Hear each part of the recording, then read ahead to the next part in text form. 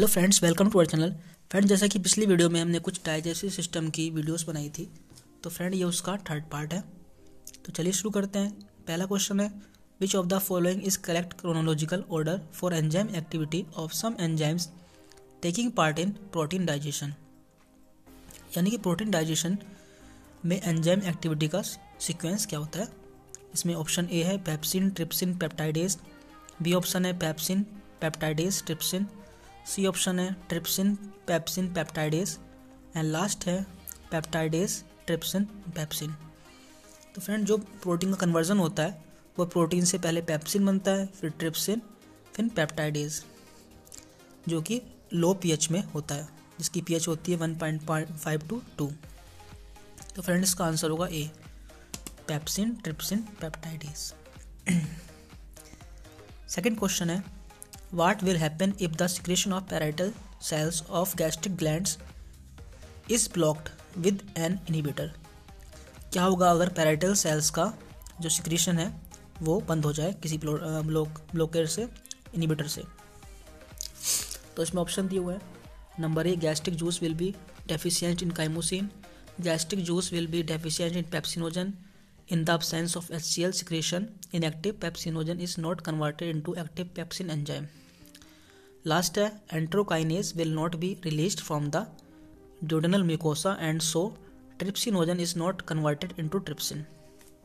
तो फ्रेंड जैसा कि आप जानते होंगे कि पैराइटल सेल से एच सी एल सिक्रेट होता है अगर हम इसका जो है इसे ब्लॉक कर देंगे तो एच सी एल का सिक्रेशन रुक जाएगा और in the absence of H C L secretion inactive pepsinogen is not converted into active pepsin enzyme तो फ्रेंड इसका आंसर होगा सी सेकेंड क्वेश्चन है hardest part in the animal body is तो friends हमारी body में जो hardest part होता है, वो एनिमल होता है, जो कि हमारे टूथ की कवरिंग होती है आउटर कवरिंग होती है तो इसका ऑप्शन होगा डी एनिमल इसके बाद है the P H of the digestive system within the human small intestine is between seven point five and eight point five this environment is slightly basic acidic neutral none of this तो friend जैसा कि आप जानते होंगे कि हमारे pH scale में one two seven जो होता है, वो एसिडिक होता है सेवन जो है न्यूट्रल होता है, और इसके बाद सेवन से आगे जो होता है, वो होता है बेसिक तो ये सेवन पॉइंट फाइव से एट पॉइंट फाइव है तो ये होगा बेसिक इसके बाद इसका ऑप्शन होगा A alcohol is present in which of the following तो इन सब में से अल्कोहल किसमें होता है? Vitamin D vitamin B two vitamin B five vitamin C तो फ्रेंड्स विटामिन डी का जो फॉर्मूला होता है, उसमें अल्कोहल प्रेजेंट होता है, इसलिए इसका ऑप्शन होगा A vitamin D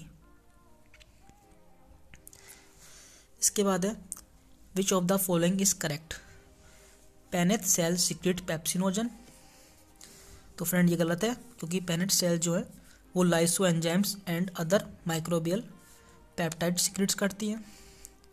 second option है parietal cells secrete hydrochloric acid जो कि सही है पैराइटल सेल्स एस सिक्रेट करती हैं।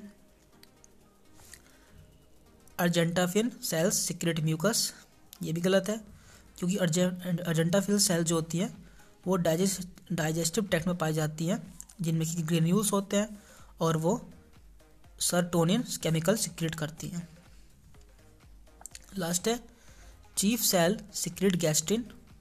तो फ्रेंड, ये भी गलत है, जो चीफ सेल्स होती हैं, वो pepsinogen and prorenin enzyme secrete करती हैं।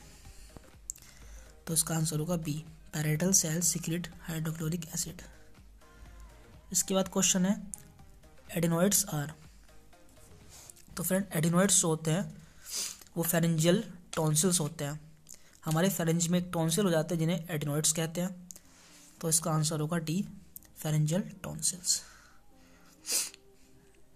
इसके बाद है last question opening of hepatopancreatic duct into duodenum is guarded by pyloric sphincter sphincter of Boyden sphincter of Oddi और कार्डिक स्पिंटर तो फ्रेंड हमारा जो डोडेनम में हिपैटोपैंक्रियाटिक डट होती है, वो किस स्पिंटर के द्वारा थ्रू गार्डेड होती है?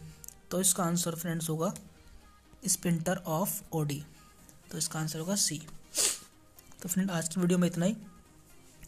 अगर आपको वीडियो अच्छी लगी तो लाइक करें और हमारे चैनल सब्सक्राइब कर लें। हम आगे भी आपको इस तरह की वीडियो अपलोड करके देते रहेंगे।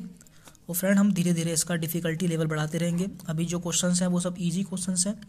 धीरे धीरे हम इनका डिफ़िकल्टी लेवल हाई करते रहेंगे। मिलते हैं अगली वीडियो में। तब तक के लिए धन्यवाद।